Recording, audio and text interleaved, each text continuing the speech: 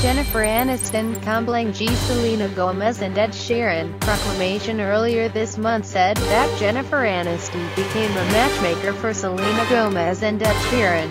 However, a source has confirmed to Gossip Cop that it was all nonsense. News was first issued by the National Enquirer, according to the story wrong. The former wife of Brad Pitt is trying to become Comblang by inviting both of them to the house for dinner.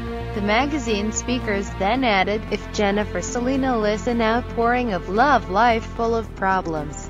Jennifer later want to find the right man for Selena and the first name that comes to his head, in response to the news. Gossip Cop then make contact with a source familiar with the situation. According to him, the news is wrong.